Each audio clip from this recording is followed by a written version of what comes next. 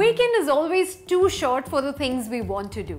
Even worse is when we realize that we have to gear up to take on our responsibilities the next day. But worry not, Priya is here to share with you some very interesting stories to lift your mood and make you feel better. So join me on this fun ride called Zee Connect and end your weekend in style.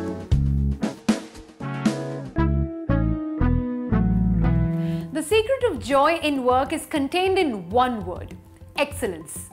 To know how to do something well is to enjoy it. Our guest on Offbeat is someone who enjoys what he does and he excels when he is under threats. Don't believe me? Check him out for yourself.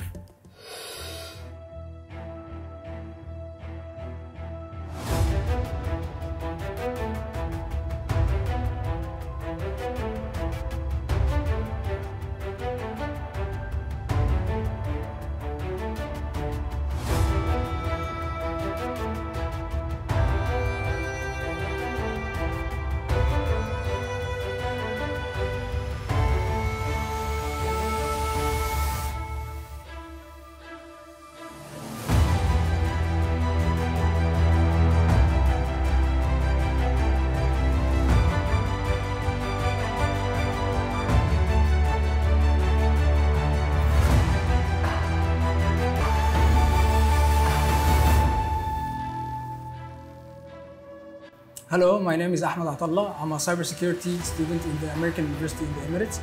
Uh, I was born in Egypt and uh, I lived uh, in United Arab Emirates, Dubai, since I was 10 years old.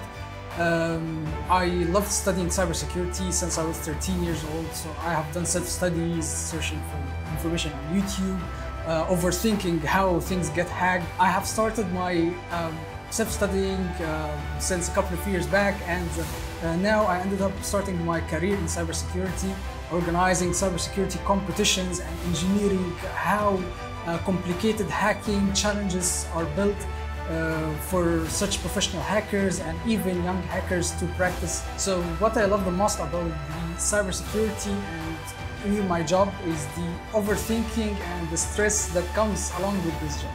Like you sometimes uh, there is a cyber attack happening and you need to look at it and you need to analyze what's going on. So yeah the uh, suspense the stress and uh, the action associated with the, the, the job is uh, the most interesting part of it. One of the challenges that I really face in my job, um, speaking from the defensive perspective, is that there is no exact limit or time for the hackers to attack you, to attack your client, or to attack the government that you're protecting.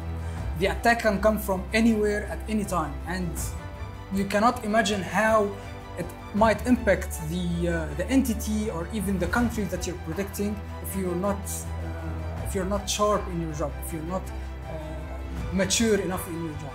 It might end up uh, shutting down the whole systems of the country.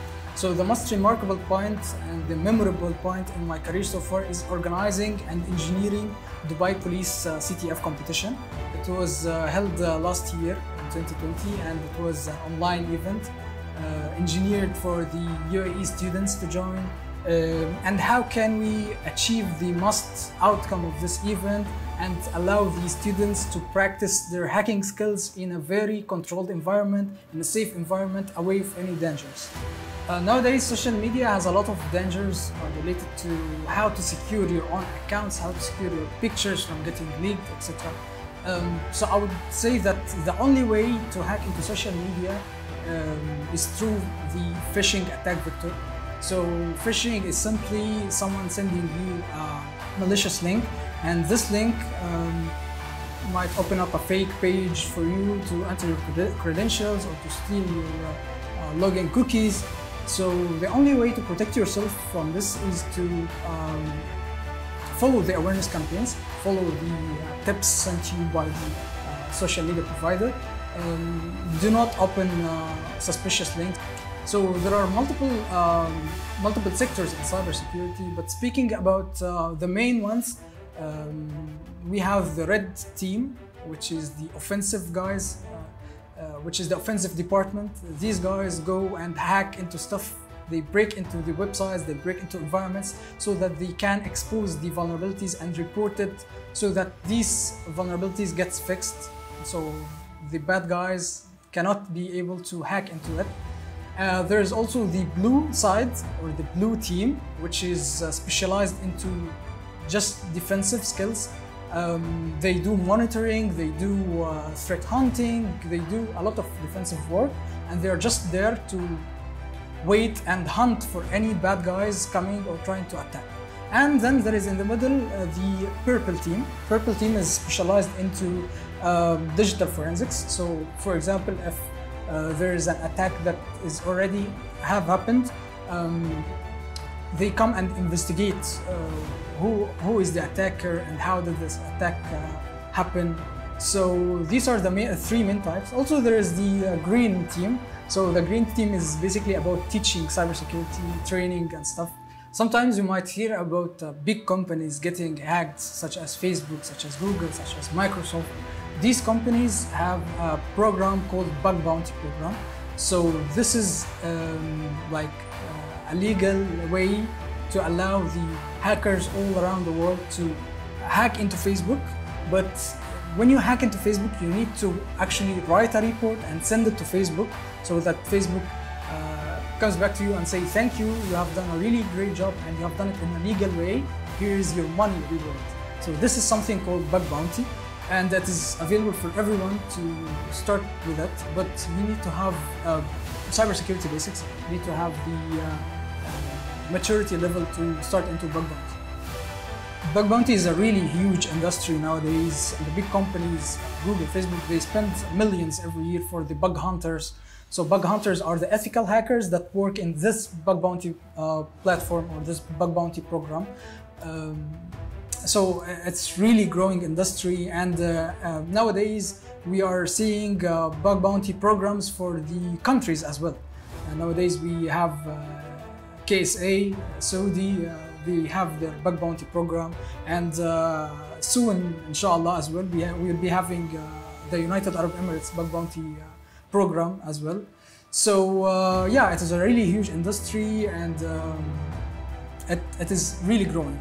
Uh, one of the challenges that really uh, I really struggle with um, sleeping. I don't have enough time to sleep. uh, I don't find enough time to hang out with my, with my friends. Um, so yeah, it might be a challenge, challenging a little bit to organize your time and uh, uh, try to make the balance between your social life and your career life. Because as you know, a cybersecurity job is really, really sensitive and it might need more attention uh, compared with normal daily jobs.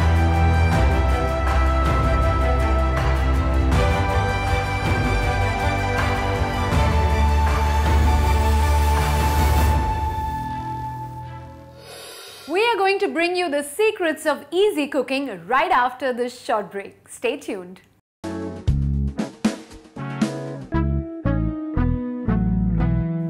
Welcome back. Meals that don't require lengthy instructions or exotic ingredients are a recipe for success. Learn from Chef Deepti in Pinch of Health to create your own spur of the moment wholesome meals. Hola guys, welcome to Pinch of Health. I'm back with another super quick and easy recipe. Today's dish is inspired from the Mexican cuisine and this dish is called One Pot Chicken Mexican Quinoa. My favorite part about this recipe is all the work goes into the prepping of the ingredients itself. And the second best thing is that I'll be only using one pot, hence it saves you all the hassle of cleaning.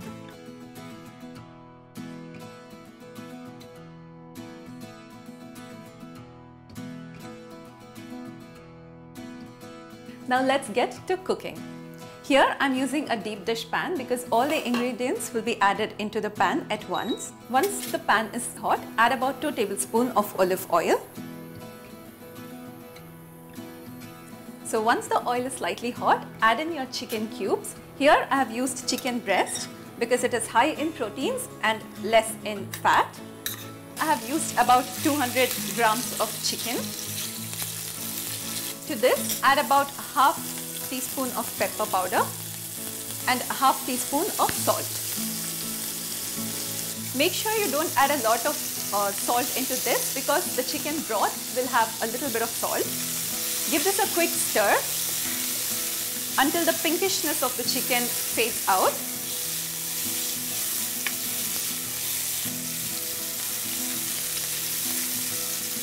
Once the chicken is no more pink, I will be adding in the chopped onions, which is about one cup.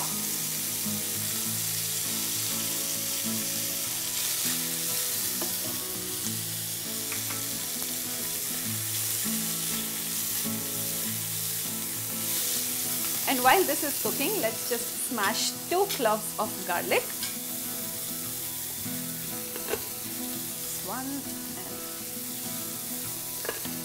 One more and add this to the pot. Give it a quick stir again. Once the onions are slightly soft, go ahead and add the bell pepper. One cup bell pepper.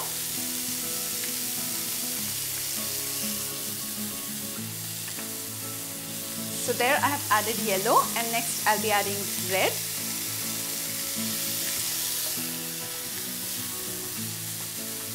Green bell peppers. So adding three different types of bell peppers not only gives color but it also gives a very good texture to the dish. While here I'm adding plain diced tomatoes. You can also pre-roast the tomato so it gives a very good smoky flavor to the dish. Here I'm just adding one cup tomatoes. We'll close this for about one to two minutes and let it cook. Once all the vegetables are slightly mushy, let's add in red kidney beans, about one cup.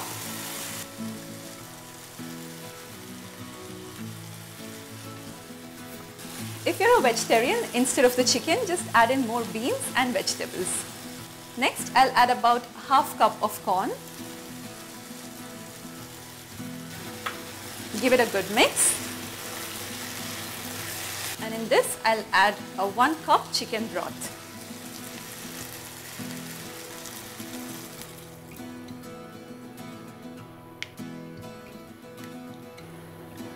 We'll close this and bring it to boil. So it's almost one to two minutes and I can see that the chicken broth is boiling. At this stage, I will be adding about half cup of quinoa. Alternatively, you can also use brown rice or white rice. So here I'm adding about half cup. This is going to take about 15 to 20 minutes to cook. Give it a good stir. At this stage, if you feel that the broth is less, just add in some more plain water to this. For every one cup of quinoa, you will require about one, one and a half cup of water. And to this, add one teaspoon of paprika powder. And then add about half teaspoon of cumin powder. Give it a good mix. Cover this and cook for about 15 to 20 minutes. Halfway through, like about after 10 minutes, just open it and give it a stir so that it does not stick on the base of the pan. You can pick and check if the quinoa is done. Just try to press it, but do not make it very mushy. Make sure it's slightly crunchy. I'm going to close it and cook for another 5 minutes. So it's almost 5 minutes and my dish is ready. I'm going to give it a quick stir. So at the end, I'm just going to let it for about one minute closed so that all the flavors just get mixed in and settle. Meanwhile, let's get a dish to plate it.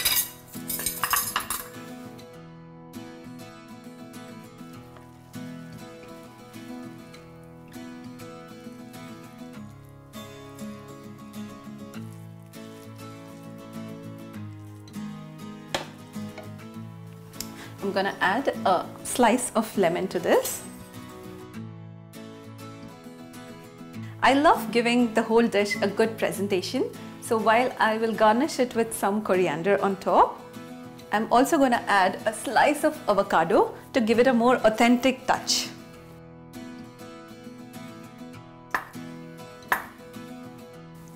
I'm just going to place it on the side. And on this, I'm going to just sprinkle some paprika powder. Garnish with a little bit more of coriander and add in a squeeze of lemon. Now that the garnish is done, the dish is ready to eat.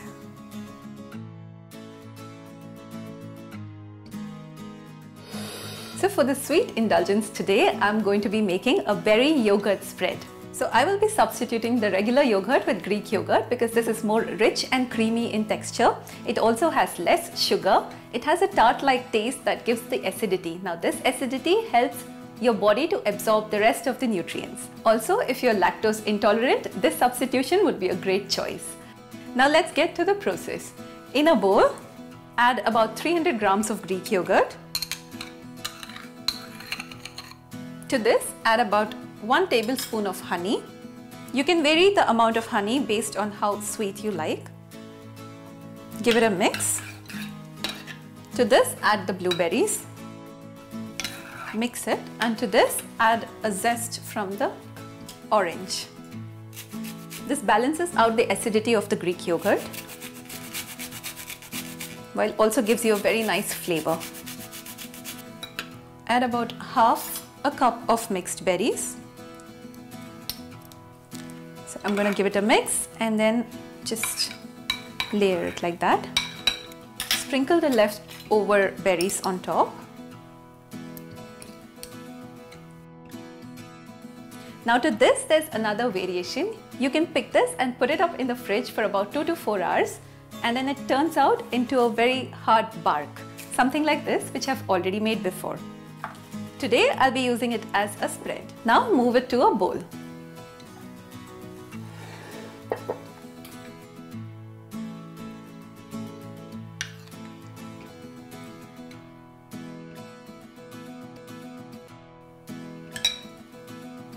Now let's top this with some pistachios,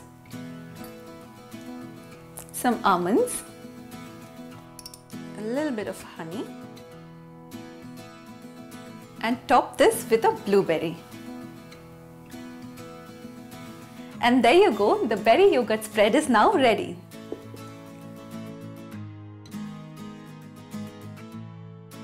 I can't wait to have my one pot chicken Mexican quinoa and the berry yogurt spread. So now here's a tip for you. The leftover of this, just put it in a fridge and use it as a filling for burritos or tostadas the next day. And the berry yogurt spread, you can freeze it and use it as yogurt bars and enjoy them as a mid-meal snack.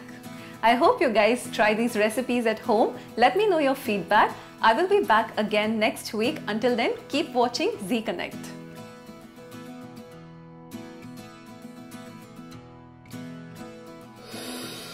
Let's take a quick recap. For 1 pot chicken quinoa, heat the pan, add 2 tablespoons of olive oil.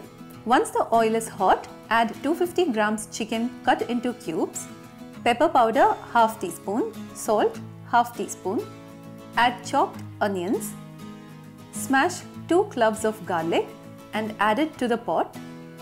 Time to add the mixed bell peppers, 1 cup diced tomatoes, Steam it for about 2 minutes. Add 1 cup red kidney beans. Add half cup corn, 1 cup chicken broth and bring it to boil. Then add half cup of quinoa, add 1 teaspoon paprika powder, half teaspoon cumin powder, cook for about 5 to 6 minutes. Pour it out on a deep dish, garnish with lemon, coriander and avocado. For the berry yogurt spread, 300 grams Greek yogurt, 1 tablespoon honey, add a few blueberries, orange zest, add half a cup of mixed berries and give it a good mix. Sprinkle the leftover berries on top, garnish with the almonds and pistachios. Drizzle some honey and place a blueberry on top. Time for a quick break again, but after this, we are taking you to meet an artist whose art is a cut above the rest.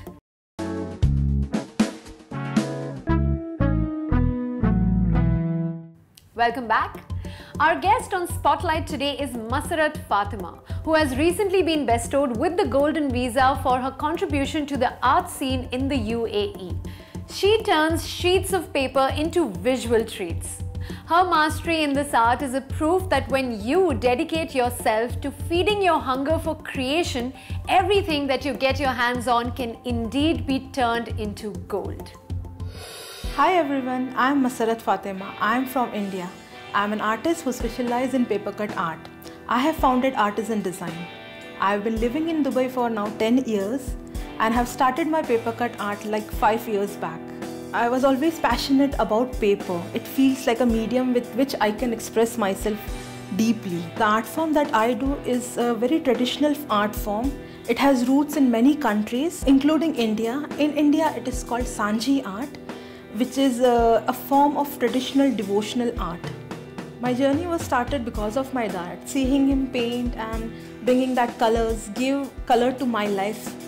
That inspired me to pursue fine arts. I graduated from India, specializing in applied arts. Once coming back here, I wanted to do something more, something different than uh, uh, fine arts as well as painting. So hence I started uh, creating a different kind of art. And once I wanted to give a gift to my niece and just by accident it happened it an idea came okay I can, I can cut it with knife and that's how my journey of paper cut art started. And slowly while discovering and experimenting with paper it also helped me discover myself. I have been in uae for 10 years now but my paper cut art journey is around 5 years old. I uh, i was lucky enough i got many good platform in uae i displayed my work at sikka art festival world art dubai along with other venues. Recently, I uh, displayed my work at Consulate General of India, Dubai, uh, as a part of Azadi Ka Amrit Mahotsav, India at 75. I was really very happy and excited to be a part of uh, this celebration, especially being abroad. And along with that, uh, creating uh, paper cut art, I also create display and um, uh, visual merchandising for brands. It, it gives a little bit commercial aspect to my art Although paper cut art is a very traditional art form, but very few people know about it and be, uh, very few artists specialize in that. Recently, now people are uh, acknowledging the art and appreciating it, not just the fine, uh, fine arts part of it, but also about the commercial aspect of it. This art can also be used in photography, visual uh, merchandising, and also uh, in a traditional form of art. So it is kind of a multi-purpose art. I am inspired by many artists. One of them is Vincent van Gogh for the swirls and the, uh, the flow of the painting. And in paper cut art, uh, I like uh, Jeff Nishinaka, Carlos Meira. They do amazing paper sculpture, giving the depth in that work that inspires me to create better art. Thank you for having me on Zee Connect. I have prepared something very special for Zee Connect audience. You will see it now.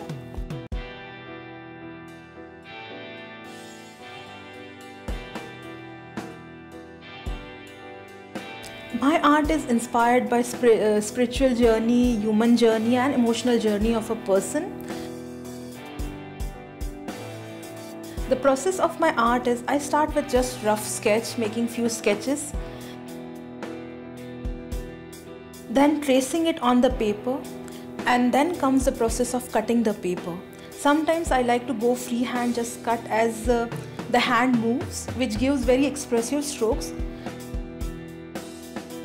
on the uh, contrary to that, sometimes when I do portraits or geometrical designs, I go for a very precise, tiny, detailed cut, which gives the uh, proper imaging of the entire artwork.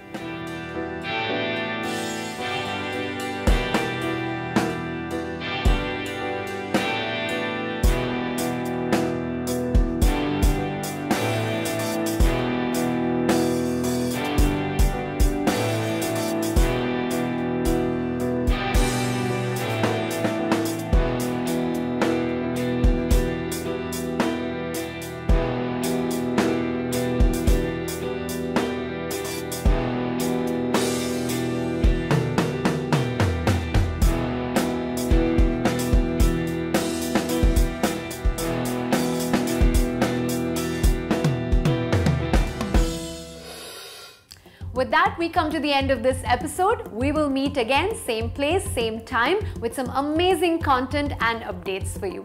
Till then, keep sharing your feedback, your thoughts with us on our social media handles. Take care. See you soon.